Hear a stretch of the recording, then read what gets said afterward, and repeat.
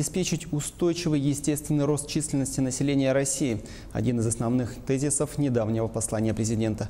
Поддержать семьи, в том числе многодетные, собирается не только различными выплатами. За пять лет свыше полумиллиона семей с детьми смогут улучшить жилищные условия с помощью льготной ипотеки. Однако до сих пор пополнить ряды многодетных семей решается не все. К таким родителям-героям сразу появляется масса вопросов.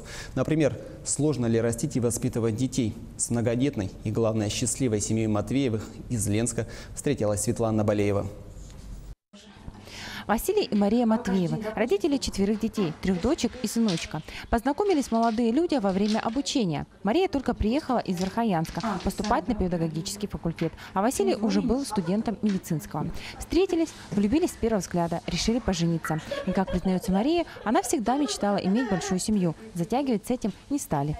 Мы планировали четырех сразу, поэтому как бере- забеременела, сразу родили в тринадцатом году. Мы приехали сюда в двенадцатом году, через год вот родилась наша доченька. София, потом в прошлом году, в сентябре, вот уже. Не ожидали Не- не ожидали. двойное наше счастье. Сегодня старшему Матвею 8 лет. Он учится во втором классе. Он любознательный, очень активный, рассказывает с гордостью многодетная мама о своих детях. Хорошо учится, занимается арифметикой, играет в шашки и шахматы, ходит на танцы.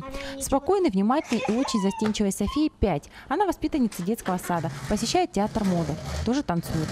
А вот младшим близняшкам Танюше и Арише всего 5 месяцев. Они довольно спокойны, улыбчивы, но настроение у них переменчиво. У малышек режутся первые зубки. С появлением близняшек сын совсем повзрослел, помогает маме по дому и заботится о сестренках.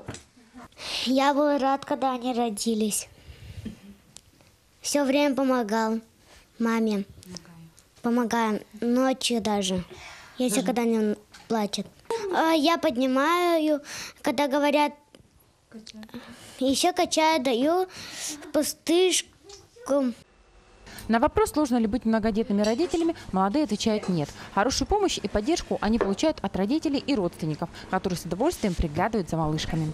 Семья пока проживает в съемном жилье. Но буквально месяц назад Василию, как молодому специалисту и работнику городской стоматологии, районная администрация выделила однокомнатную квартиру в новом доме. Через месяц семья планирует переехать. В 2013 году молодые взяли ипотеку и вот уже несколько лет строят дом, о котором так долго мечтали. Светлана Болеева, Виталий Андреев, Ленск.